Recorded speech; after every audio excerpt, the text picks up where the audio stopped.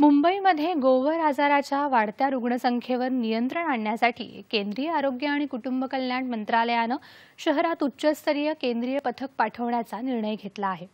गोवराचा उद्रेक आटोक्यात आणण्यासाठी आणि प्रतिबंधात्मक उपाययोजना करण्यासाठी राज्य आरोग्य यंत्रणेला हे पथक मदत करेल.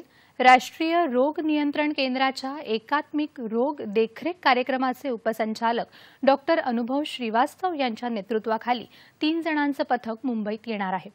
गोवराच्या उद्रेकाची कारणं शोधण्यासाठी हे पथक प्रत्यक्ष पाहणी करणार असून सार्वजनिक आरोग्य उपाय व्यवस्थापनासंदर्भात मार्गदर्शक तत्व या संदर्भात राज्याच्या आरोग्य विभागाला सहाय्य करेल.